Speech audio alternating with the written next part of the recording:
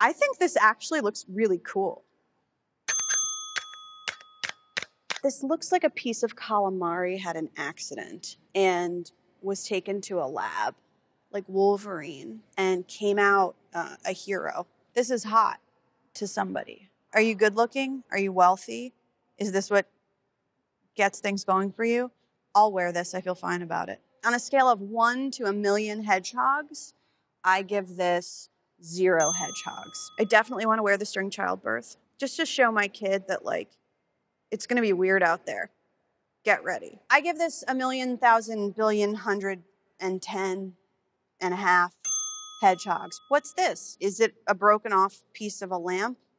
Probably. I think that you use this to befuddle a toddler. Facial flex for people who don't know how to move their face. I give this no hedgehogs.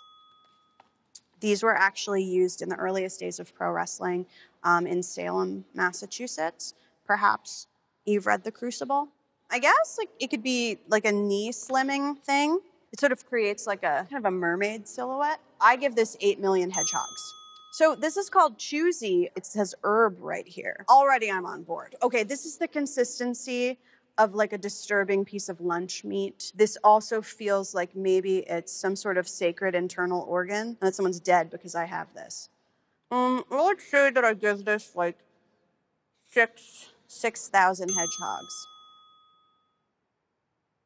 If you get something like this, one great thing to do with it is to turn it into a hat. Because the only thing that I really care about the shape of, besides my soul, is my hair. A million hedgehogs.